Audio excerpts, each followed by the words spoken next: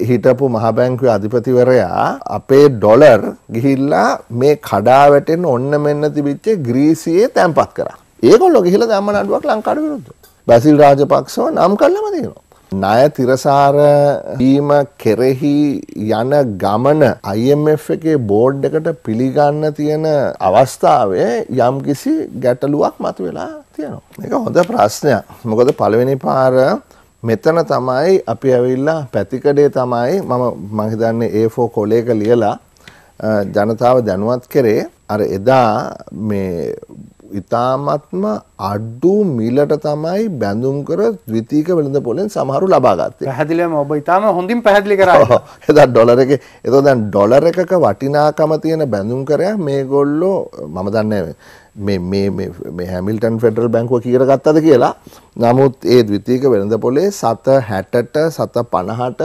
වගේ ගණන්වලට ගත්තා. එතකොට අරගෙන ඔවුන් බලාපොරොත්තු වනා ගෙවන දවස එනකොට ඩොලර එකක් ලබා ගන්න. ඒක තමයි මේ ආසෝක හොඳට මතක ඇති මේ රටේ ජනතාවට අපි කිව්වා මේ කට්ටියට සමහර විට 100ට 100 200 250 වගේ පොලියක් අපි කියනවා වාර්ෂිකව ගණන් හැදුවොත් ඇමරිකන් ඩොලර් වලින් ලබා ගන්න හැකියාව තිබුණා. වෙන කිසිම බැංකුවකින් ලෝකෙ මන් දන්නේ කිසි තැනක ඉඩ තිබුණාද කියලා එහෙම ගන්න කෙටි කාලීනව මේ ලාභේ ගන්න. නෑ එහෙමනේ දැන් මතකනේ ග්‍රීක බැඳුම් කර මගඩිය. දැන් ග්‍රීක බැඳුම් කරවල මොකද උනේ? අපේ හිටපු මහ බැංකුවේ අධිපතිවරයා අපේ ඩොලර් ගිහිල්ලා මේ කඩා වැටෙන්න ඔන්න මෙන්න තිබිච්ච ග්‍රීසියේ තැන්පත් කරා.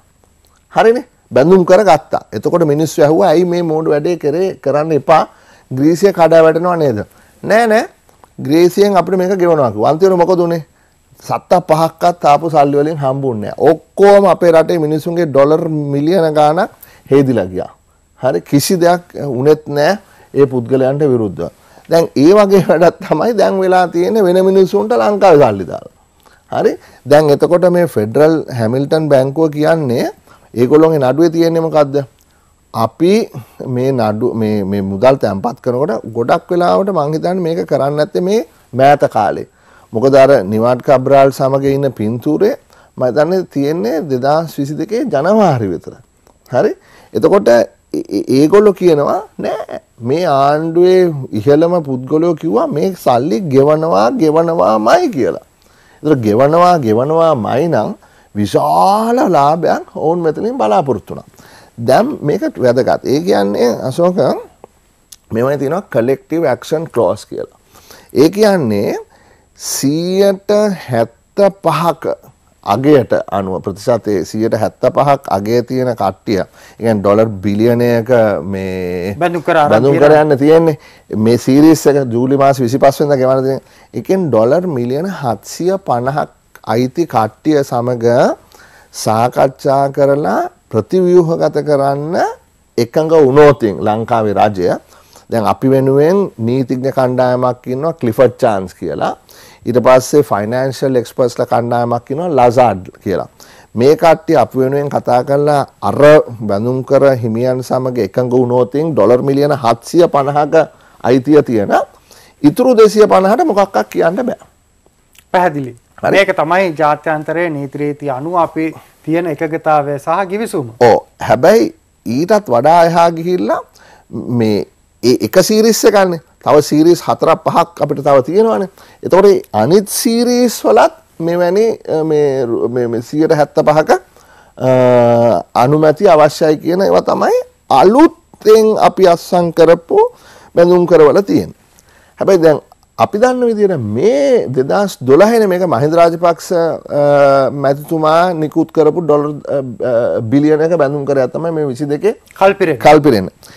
එතකොට එදා තිබිච්ච නීතියත් එක්ක එක සීරිස් එකක කෙනෙක්ට සියට විසි පහට හරි හැත්ත පහක් කන එක ගත්තය ඕන විසි පහට වඩා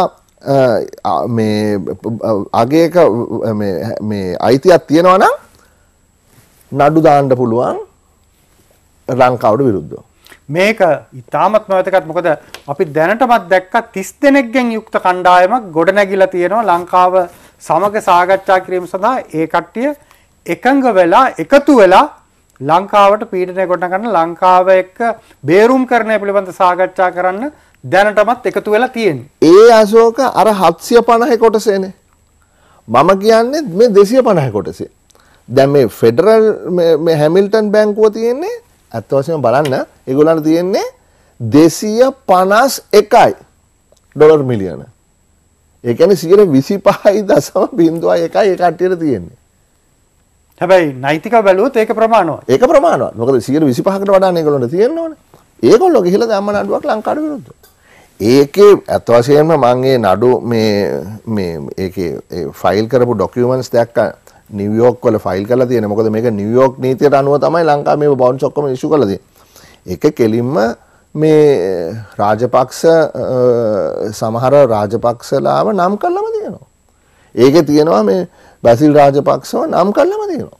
මේගොල්ලෝ මේ මේ මුදල් සම්බන්ධයෙන් මේ නොයකුත් එම ගසා කෑවක් කියලා චෝදනා තියෙනවා කියලා ඒගොල්ලෝ ඉදිරිපත් කරලා තියෙනවා. එතකොට මේක දැන් මේ අර අපිට අවශ්‍ය ණය තිරසාර වීම කෙරෙහි යන ගමන සාර්ථකයි කියලා IMF එකේ බෝඩ් එකට පිළිගන්න තියෙන අවස්ථාවේ යම්කිසි ගැටලුවක් මතුවෙලා තියෙනවා.